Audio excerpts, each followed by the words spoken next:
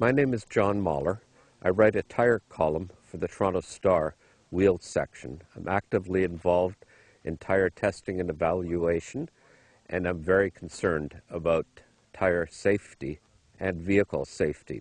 We're here today at the Continental Tire Proving Ground in Brimley, Michigan, just outside of Sault Ste. Marie, to evaluate what tire fitment works best on a small MFAV or mini school bus. This concern about tire fitment was raised by three mothers in New Brunswick who lost sons in a tragic collision several years ago.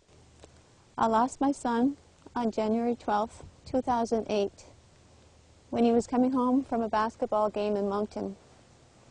Um, he was in a 15-passenger van that was ill-fitted with all-season worn scallop tires.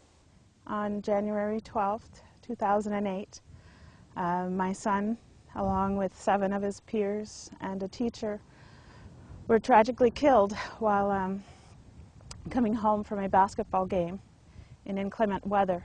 And the um, vehicle transporting my child and his friends uh, was equipped with um, all-season tires. January the 11th, when my son left for a game, for a basketball game from the school in a 15-passenger van, which he never had a chance to return back home, and eight people were dead.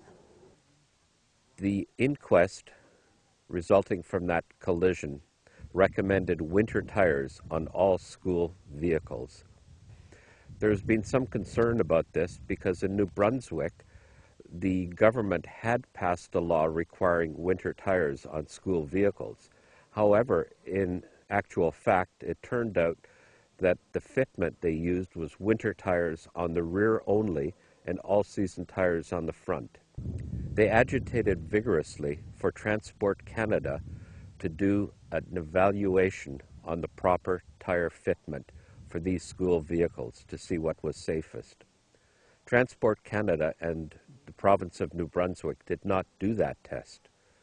Continental Tire stepped in and volunteered to do this and invited the three mothers here to the proving ground to watch the evaluation and process. So we're going to see what works best and what is safest. At a speed of 60 kilometers per hour, with winter tires on all six wheels, two up front and four at the rear, the average stopping distance from several runs was 38.7 meters.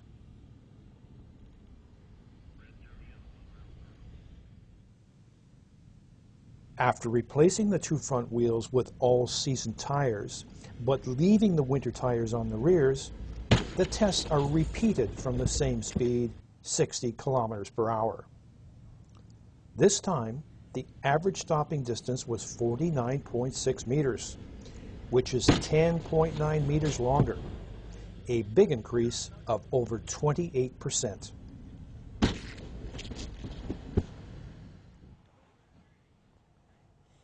Repeating the tests from 80 kilometers per hour provided similar results, confirming the superior stopping ability with winter tires on all the bus wheels. Lateral cornering is measured in G's or G-force. This measurement can tell us which tire grips best when going around a corner. Driving through this corner at 60 kilometers per hour with all winter tires created 0.417 Gs. The bus was stable and the driver had no problem staying in his lane. The front winter tires were then replaced by all season tires and Gs measured again. This time at 60 kilometers again, the bus understeers into the other lane and clips the cones in the process.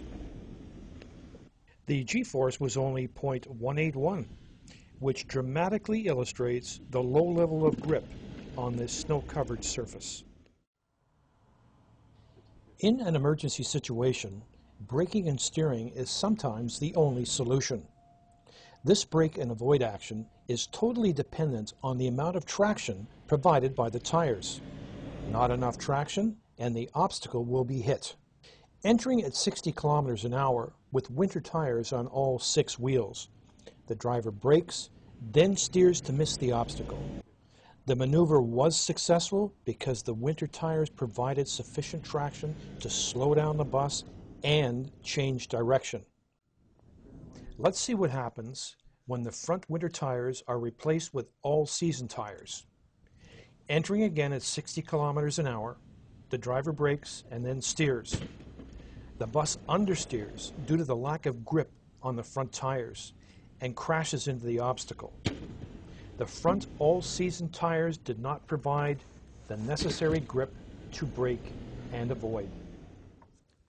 Well, we've done our testing here today, and we've received the results and also seen the results.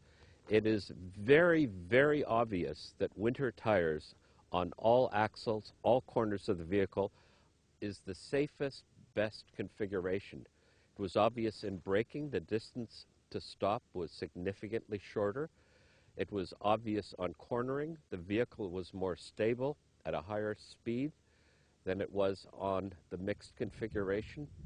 In accident avoidance, it was significantly obvious that the winter tires made a huge difference. The vehicle was able to steer around a problem in the road.